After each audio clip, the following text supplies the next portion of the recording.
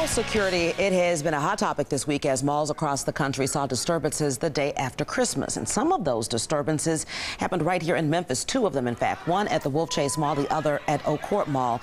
And they may have been fueled by social media. Well, this Water Cooler Wednesday, we have Bev Johnson from iHeartMedia, WDIA, and Dwayne Benton from HollywoodRadio.com with their thoughts on that. It's been all over social media talking about this, and then we hear it started on social media. We'll start with ladies first. We'll Absolutely. start with Ms. Bev. Uh, you know, so now they're saying that parents may need to accompany their teens to the malls instead of just dropping them off and letting them go there. What do you think about that? You know, it, it, it's it's a shame that that you would have to do that, and especially if you had teenagers, 14 and 15 and 16, because you know usually you want to be with your friends. But Markova, I was thinking about this, and it st it starts at home. HT, home training, and and as growing up. Mm -hmm if I was cutting out mm -hmm. in the mm-hmm. street and my dad, somebody would tell him that I saw Bev out there when I got home. So it starts at home. But and, and I like the social home, media, but I it. don't like the social media. Yeah. Yeah. You, you, I'm with you on that. Yeah. What, what, do you say, Dwayne? Absolutely. Uh, I, this whole, first of all, I do believe it was fueled uh, by, because I found out now that they can have secret uh, clubs and stuff on, on like Facebook and mm. places like that. You can have secret and only certain people are can invited get to the group. Right, That's to the right. group. And so I believe this was just strategically planned for these kids to do this around the country because they all did it the same way. And so it does start at home, Bev. It does start at home. But home is not what we remember home to be anymore. Well, you're right. You know, grandmothers are now 28 years old.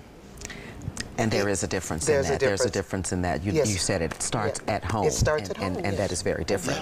Uh, we'll, we'll move on from that topic now. In Missouri, school fights increase to a type E felony. So now you're talking children, they get into school, they don't go to juvenile, they don't go to the office, they are arrested and they have a felony on their record. What do you think about that, Dwayne? I totally disagree with this. This is horrible. This is an, another uh, situation that's going to be bad down the line.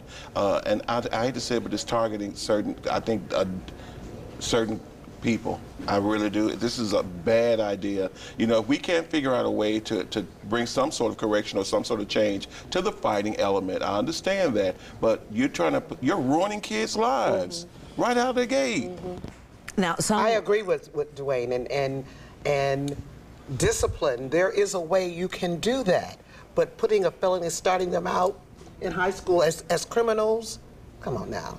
Well, I will ask you, I'll play devil, devil's advocate. Uh -huh. I uh-huh. agree you don't want to start them out in that way, but when you look at video of these mall brawls that yeah. you uh -huh. see, and we see fights like this happen in schools, yeah. outside of the school, what, do, what, then what do we do? What so, is society why do we have juvenile delinquency -huh. and, and those places where they send the juveniles? Yeah.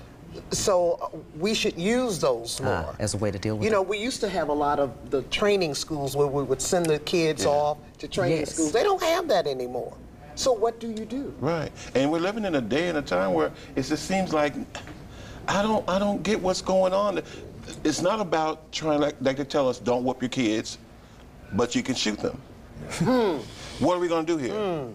I would rather you allow parents to discipline their children, not abuse them, but discipline them mm. so that they can get an opportunity to understand. Because if we never teach our children what it means to not touch the hot stove, after I keep my mom, don't touch that stove, and I'm just like, oh, what is it about that stove? Yes.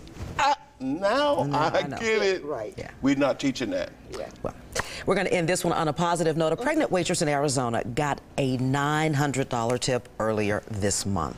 How fantastic is that? Yeah. That's fabulous. That's fabulous. What do you think about that? We she, always she, see that. She was she was doing something right. Yes. She was treating her customers with dignity and respect, and they probably thought, "Hey, she did something right."